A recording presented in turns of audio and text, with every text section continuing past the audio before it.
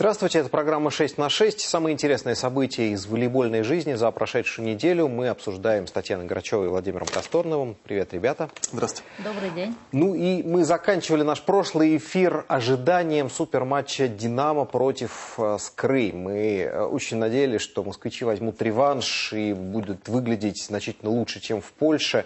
Володь, ты этот матч комментировал. Вот получилось? Твои ожидания оправдались? Нет, ожидания не оправдались. Э, причины все те же, о которых мы уже тут оскомину набили разговаривать, об одном и том же, что «Динамо» до сих пор играет без двух основных своих доигровщиков, без приема и так далее. Из-за этого игра у команды не клеится. А были э, какие-то моменты, когда вроде бы «Динамо» у них получалось нащупать свою игру, но в целом э, ни рисунком опять не увидели, опять играли а, первым темпом только в каких-то ситуациях самых элементарных, а мяч нам перебрасывали. Ну, а так, в общем-то, Гранкин просто у него нет возможности строить игру и вести ее так, как он Какие перспективы? Делать. Вот если мы взглянем на турнирное положение, какие перспективы у москвичей? Собственно, первое место уже недостижимо. А как вообще, возможно ли э, зацепиться за второе или Динамо продолжит свое падение? Я считаю, что возможно, обязательно. Нужно обыгрывать э, две команды, оставшиеся, это Фенербахче и Томис Константу. И я думаю, что по силам Динамо это сделать, потому что, ну, худо ли бедно, но Курок восстанавливается так или иначе. Будем надеяться, что он уже, пусть не в полную силу, но хотя бы там на половину своих возможностей заиграет. Я думаю, что это реально. Нужно обязательно занимать а, второе место, выходить из группы с этой позиции и дальше уже долечиваться всем и показывать свой волейбол. Ну и действительно, Курок это такая краеугольная фигура, вокруг которой Динамо надеялись строить э, свою игру в этом сезоне. Курок пока травмирован, но не только он. В общем, всем проблемам Динамо посвящен э, материал Игоря Сидоренко. На представлении команды «Динамо Москва» перед началом сезона болельщик бело-голубых мог смотреть в будущее с оптимизмом. Да вот только мощный состав, который собрала московская команда на площадке в оптимальном сочетании, появлялся считанное число раз. И как бы большие достаточно у нас сейчас испытываем проблемы, не только в игре, но и за площадкой, да.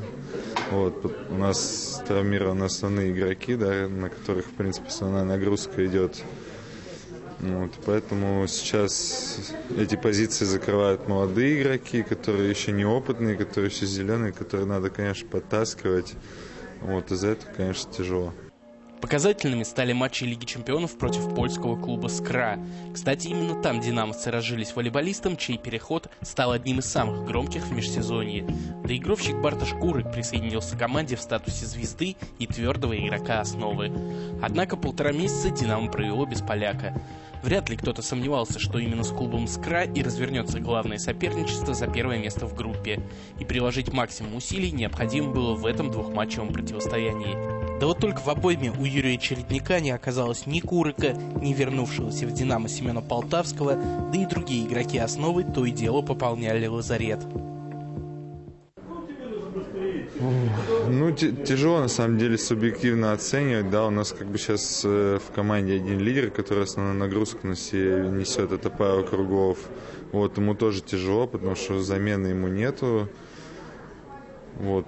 Ну, пытаемся, конечно, тренер пытается это как-то все регулировать, давать там побольше отдыха и так далее. Вот. А оценка нашей игре, ну, пока если судить по, по десятибальной системе, то где-то твердая четверочка.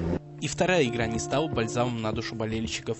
Казалось, вот оно, Курок восстановился, и пусть игровой практики маловато, зато сильные и слабые стороны соперника знают, что называется изнутри. Но польскому доигровщику удалось пробыть на площадке полтора сета, а затем все та же проторенная дорожка к врачу команды. И второе поражение, ставящее крест на надежды о первом месте в группе. Ну, так случилось. Тут тоже от него не зависело. Тут никто не застрахован от травм.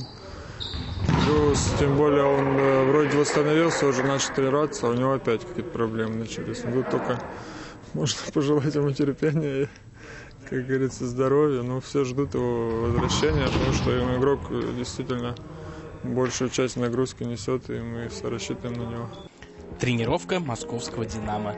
Курок занимается по индивидуальной программе. Опять. Судя по слухам, в полную силу, если волейбольные боги будут благосклонны к Барташу и Динамо, он сможет сыграть в Кубке России, финальная часть которого стартует в конце декабря. Где-то в середине тренировки поляк покинул зал и отправился на медицинские процедуры. Догнать его, несмотря на травму, не удалось. Хотя, откровенно говоря, мы не сильно старались.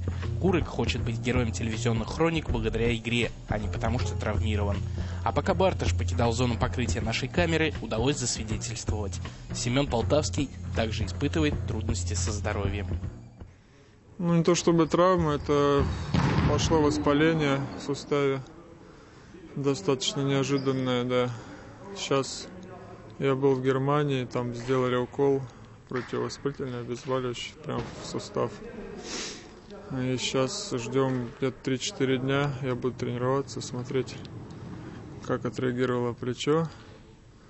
Если укол помог, то так дальше буду продолжать в том режиме. Если нет, то, скорее всего, понадобится э, еще одна операция. Ну, такая коррекция, скажем, назовем ее небольшая, после которой, в принципе, через 6 недель уже можно будет опять приступать к тренировкам. Ну а что касается Курика, то... Я думаю, дело буквально двух-трех недель и будет играть, я думаю, не хуже, чем за свою бывшую команду и за сборную. Так что все будет хорошо. У нас какой-то сериал «Скорая помощь» в московском «Динамо». Будем надеяться, что это последняя серия, и действительно все будет в порядке. Ну а что касается перспектив ближайших наших команд, о «Динамовцах» мы сказали, давайте на другие планы посмотрим.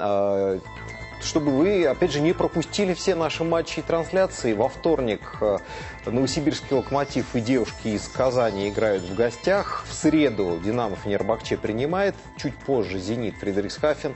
И важнейший матч в группе А Уралочка в Турции.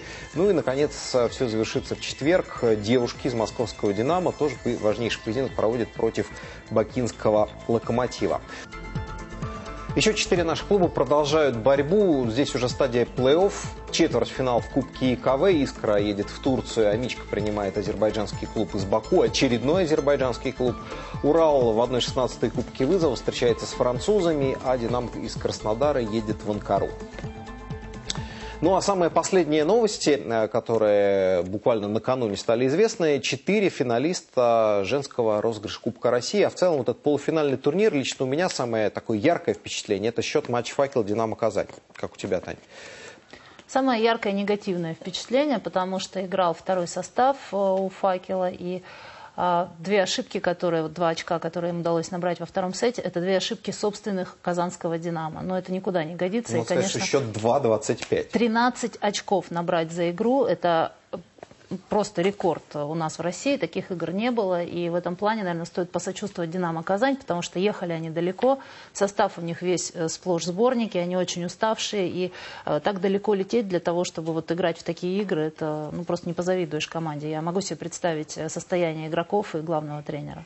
Ну, Уралочка в Санкт-Петербург тоже приехала вторым составом, но тем не менее у Николая Васильевича Карполя более, наверное, длинная скамейка, и все-таки волейболистки оказали определенное сопротивление. Ну, а в целом там, конечно, прогнозировалась э, борьба в Питере э, Заречья и Уралочки. Ну и вот их встреча состоялась во второй день кубкового турнира. Давайте посмотрим фрагмент этого матча. Дело в том, что у Карполя есть и мотивация отправлять второй состав на эти турниры, потому что а, он играет в Лиге чемпионов. Это не турнирный путь факела. Да? Факел не играет столько турниров. А потом э, у Карполя самая сложная группа в Лиге чемпионов. Ему нужно пробиваться, и сейчас все будет зависеть от выезда в Турцию и от того, как они примут дома француженов. А именно поэтому едет молодежь, и эта молодежь впоследствии становится игроками стартовой шестерки. Это тоже немаловажно, где-то им нужно наигрываться.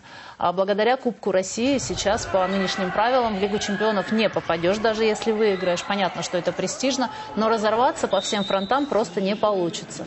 Поэтому, конечно, Заречье стоит похвалить. Они, как э, обычно уже в этом сезоне, здорово выступили. Хотя вот борьба, конечно, была самая основная, я думаю, между этими командами. Да, ну и неожиданно Ленинград включилась в борьбу за место в, в финале, обыграв первый день Уралочку, то второй день они выиграли у Автодора. Э, вот в какой-то мере это действительно неожиданность. Хоть и домашняя площадка, но команда, не входящая в Суперлигу.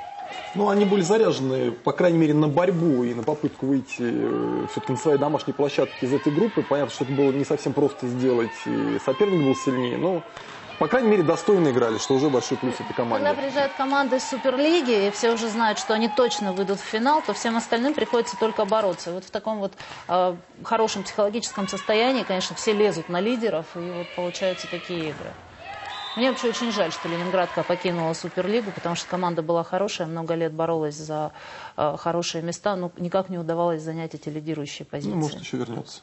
Ну, хотел, потому что, конечно, питерская школа, вот и автомобилист уже опустился из Суперлиги. Но, в общем, действительно, такие проблемы. О проблемах своей команды после этого матча, выигранного, говорил Владимир Анатольевич Панков.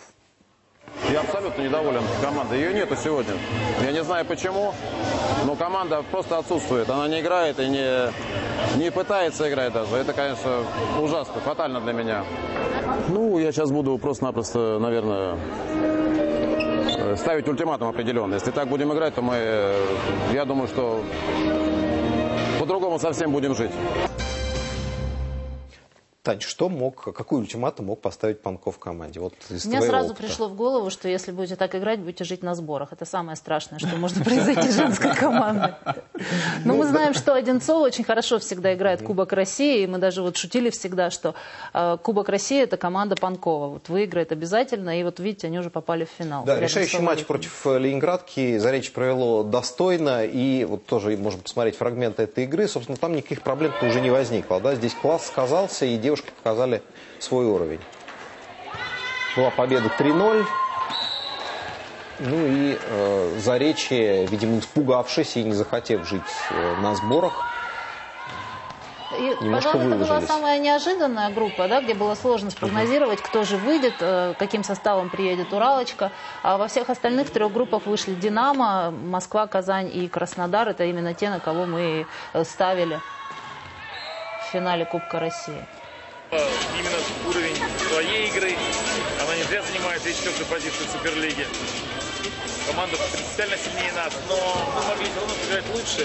К сожалению, только два игрока сегодня сыграли на том уровне, на каком они могут играть, остальные Ну, в принципе, задачу мы выполнили, и я думаю, что это главное. Мы попали в финал Кубка. Вот. Ну, немного недовольна вчерашней игрой. Я думаю, что немножко расслабились, так как поставили молодых девчонок, дали поиграть. Вот.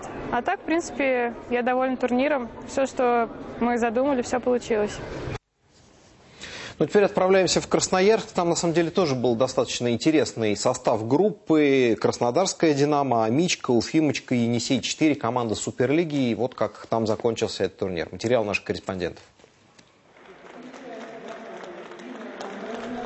В Красноярске завершился полуфинал Кубка России по волейболу среди женских команд. В один вечер на площадке встретилось сразу четверо соперников. Красноярскому Енисею пришлось побороться с краснодарским «Динамо», а Мичка сразилась с Уфимочкой. Красноярской команде с первых минут матча пришлось тяжело. В составе «Динамо» играют участники сборной страны Светлана Крючкова и Юлия Меркулова, а также лидер национальной сборной США Дестин Хукер. Последняя, правда, всю игру провела на скамейке запасных. Во время прошлой встречи Хукер получила травму ноги.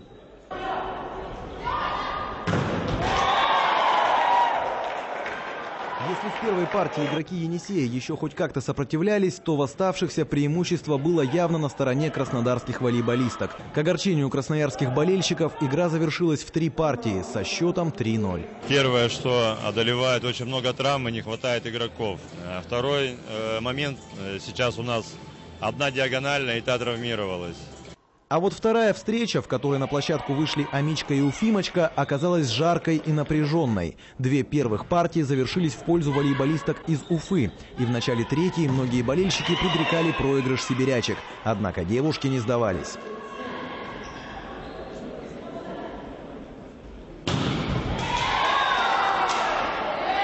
К концу четвертой партии счет на табло был уже 2-2. В итоге Амичке удалось по-настоящему вырвать победу у Уфимочки. Краснодар очень хорошая команда, Уфа тоже. И мы знали, что будет очень, очень тяжело. Ну, всегда надо быть оптимистом. Однако в финал амичам выйти все же не удалось. Путевка туда досталась Краснодару, одержавшему три победы в трех матчах в своей группе. Итак, вот окончательное положение в подгруппах. Ну вот, как Татьяна уже сказала, три «Динамо» и «Заречье» вышли. Ну... Надо сказать, что «Динамовки» из Москвы потеряли очки а, на тайбрейке, потому что две партии вели 2-0, и потом попробовали резервистов, и поэтому вот случился тайбрейк, убедительная победа 15-5, и поэтому у них 8 очков. Во всех остальных группах лидеры по 9 набрали. Ну и теперь кто-то из этой четверки возьмет на себя организацию финала. Пока неизвестно, в каком городе этот финал состоится. Будем следить и, естественно, вам об этом расскажем.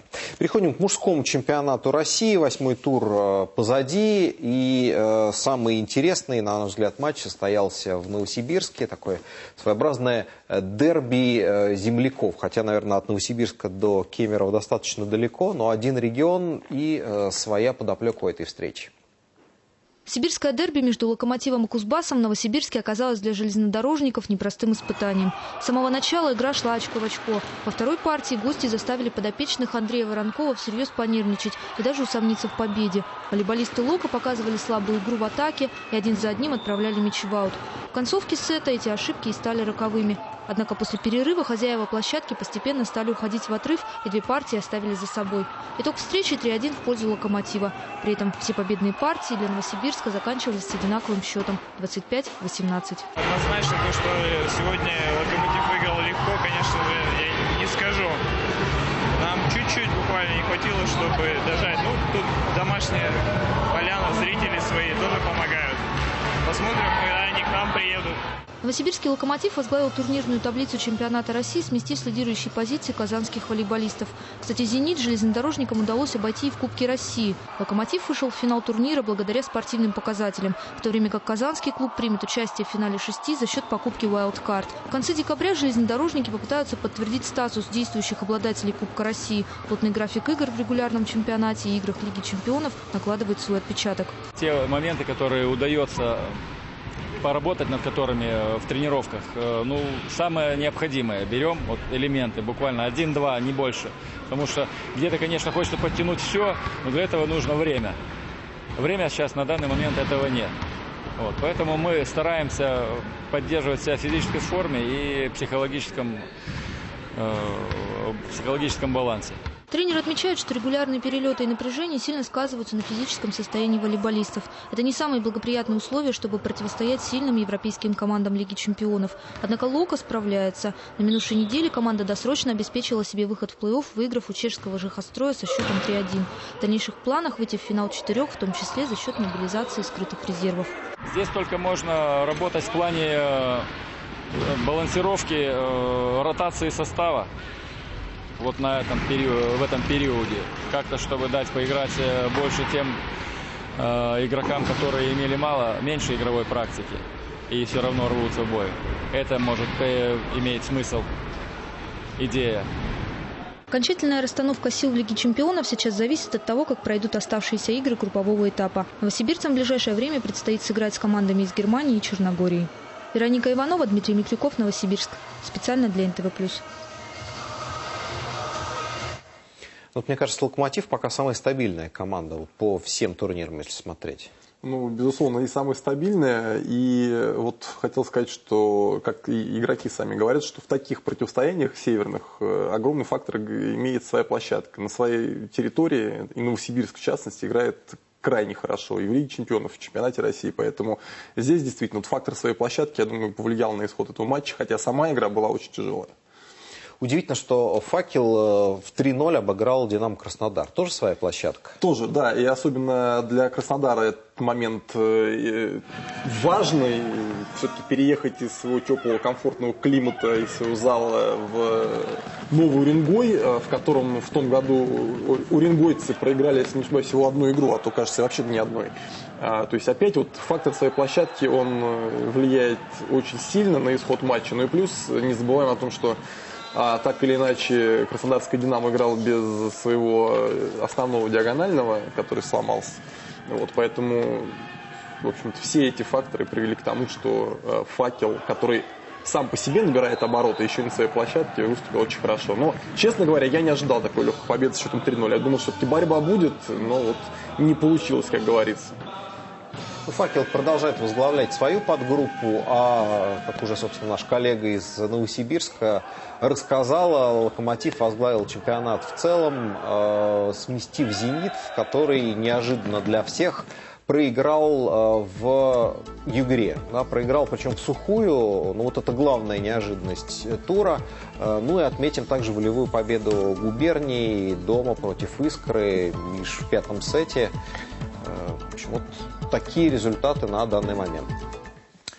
На следующей неделе состоится отчетно-выборная конференция Всероссийской Федерации волейбола, что называется «Жизнь с листа». С всех уволить, заново выбрать. Ну и накануне руководители Федерации провели такую небольшую пресс-конференцию, на которой ну, свое видение итогов этого четырехлетия изложили. Наши команды столько раз останавливались в шаге, в одном мяче от победы, в различных турнирах, что говорить о, о том, что хорошая работа, плохая работа, уже нельзя было. Ну, это было похоже на какой-то рок, невезение какое-то, которое нельзя было объяснить там, э, чисто спортивными моментами. Вот. Ну, когда-то ж нам должно было повести, не может все время не вести. Вот. Поэтому хорошо работали, плохо работали, все равно я считаю правильно по результату. Если мы посмотрим только на спортивные результаты, то таких результатов не было даже во времена СССР. Вот, то есть это, это видно, и мы считаем, что за два предыдущих года федерация провела очень серьезную работу. На следующий год могу сказать, что скорее всего, будет задействовано достаточное количество молодежи, как в женской команде, так и в мужской, потому что после Олимпийский год она всегда достаточно сложный и у игроков, и, соответственно, с тренерскими кадрами. Поэтому, учитывая, что есть соревнования чемпионат Европы, есть соревнования универсиады в Казани, дополнительные какие-то турниры, достаточно плотный график подготовки, может быть, будет расширенный состав участников сборной команды. То есть как бы институт второй сборной может появиться. Было бы это логично для именно следующего года. Но я считаю, что любой игрок должен как бы не останавливаться на достигнутом и двигаться дальше. И поэтому будем готовиться, а там будет что будет. Но в любом случае, конечно, хочется играть за сборную всегда. То есть это номер один. А дальше время покажет. Ну а мы с нетерпением ждем выхода на площадку Вадима Хамутских. Пару дней назад он отметил свой день рождения, поэтому мы его с удовольствием поздравляем. Спортивного долголетия уже желать не будем, это и без нас имеется. Поэтому здоровья тебе, Вадим, успехов, терпения и семейного благополучия. Вадим Хамутских – легенда, эпоха отечественного волейбола. Он впервые попал в национальную сборную в 96-м вместе с Сергеем Тетюхиным и другими великими игроками того поколения. В 99-м вместе они выиграли первый трофей в российской истории – Кубок мира. Вместе дошли до медали Олимпийских игр и чемпионата планеты. Увы, лишь Сергею хватило сил, здоровья, а главное запаса лет, чтобы выиграть Олимпиаду в Лондоне. Вадим не меньше заслужил этот титул, но последний матч за сборную он провел на чемпионате Европы 2009 -го. Причем на майке вместо сложной для иностранцев фамилии было написано его имя. В понедельник Вадиму Анатольевичу исполнилось 43, а за пять дней до дня рождения Хмутских подписал очередной профессиональный контракт. Это э, получилось немного неожиданно. Понедельник, это днем, позвонил Геннадий Яковлевич и предложил встретиться и поговорить. Я, честно говоря, даже не мог предполагать, что разговор будет именно такой. Белогорье для Вадима родной клуб. Именно здесь он впервые стал чемпионом страны. Выиграл Кубок России и Лигу чемпионов. За Белгород Хмутских выступал с 93 по 2006 годы. Вернулся в 2008 все с тем же Тетюхиным, и команда Шипулина закончила сезон победой в Кубке ИКВ. Потом были два года в Ярославле. Но и перед этим сезоном волейбольный долгожитель не остался без предложений. Было у меня и в начале сезона кое-какие предложения, но они потом отпали. Вот. Потом было одно как бы предложение, о котором, я думаю, все знают, с Ярославича. Я долго ждал э, конкретного ответа, и вот до последнего сидел, ждал конкретного ответа. Вот, но у них, как говорится, финансирование клубом так до конца не определилось. Ну, а тут еще и предложение от Белгорода. Ну, как говорится, не стали больше ломать голову и подписал здесь контракт. И на родном месте, как говорится, сидеть всегда приятнее, чем где-то на выезде, где-то быть гастробайтером, если так можно выразиться. Игру восьмого тура против Ярославича Вадим смотрел с трибуны. И снова вместе с Тетюхиным. Восстанавливается после травмы и другой олимпионик Дмитрий Ильиных. Тарас Хтеев в составе, но не на площадке. Из четырех чемпионов Лондона регулярно играет только Дмитрий Мусерский. Есть вопросы у Шипулина и к связующим. Кого из них, немца Лукаса Кампу или Сергея Макарова, может заменить Вадим? Пока знает только Геннадий Яковлевич. Но свою функцию Хомутских определяет однозначно. Э, тренер на площадке, так можно сказать.